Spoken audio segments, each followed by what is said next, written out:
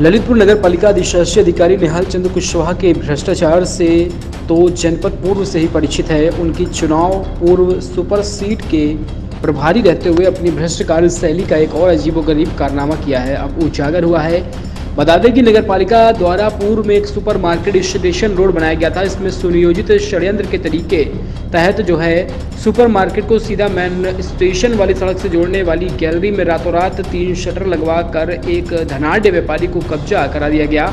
नागरिक विकास मोर्चा संघर्षरत है और दूसरा धरना लगातार दूसरे दिन धरना प्रदर्शन कर रहा है। जिला प्रशासन के कानून में जू तक नहीं रेंग रही है। जिला प्रशासन ने अस्थायी तौर पर शटर के ताले खुलवाकर मामला शांत कराने की कोशिश की, जबकि संघर्षरत मोर्चा स्थायी तौर से गैलरी में लगे तीनों शटर हटवा कर गैलरी कब्जा मुक्त कराने की मांग पर अडिग है।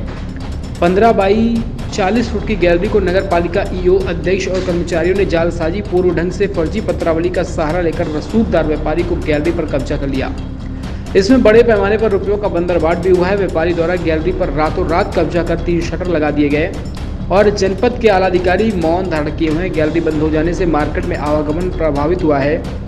अन्य दुकानदार भी प्रभावित होंगे। मार्केट में ठीक गैलरी के सामने महान स्वतंत्रता सेनानी की मूर्ति जो वर्षों से यहाँ लगी हुई है, उक्त दुकानदार हटाने की फ्राक फ्राक में हैं। नागरिक विकास मोर्चा ने इसकी उच्च स्तरीय जाँच कराकर प्राथमिकी दर्ज किए जाने की मांग की है। दोषियों को जेल भेजे जाने की भी मांग की गई है।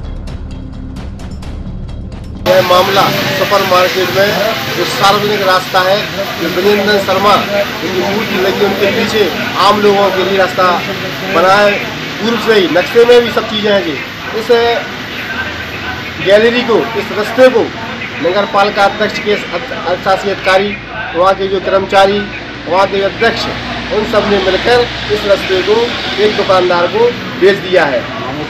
और उस पर शटर लगा दी गई है। आज से एक हफ़्ते पहले जब उन्होंने शटर लगाई संज्ञा में मामला आया, तुरंत हमने जिलाधिकारी को ज्ञापन दिया। ज्ञापन देने के बाद प्रशासन हरकत में आया। सब लोगों ने मिलकर प्रशासन ने शटर तो खुलवा दी, लेकिन शटर नहीं निकाली गई है। तो हमारी यह जो मांग है जो धरना प्रदर्शन का भूत चल रहा है, हमारी मांग है यह शटर निकलवाई जाए।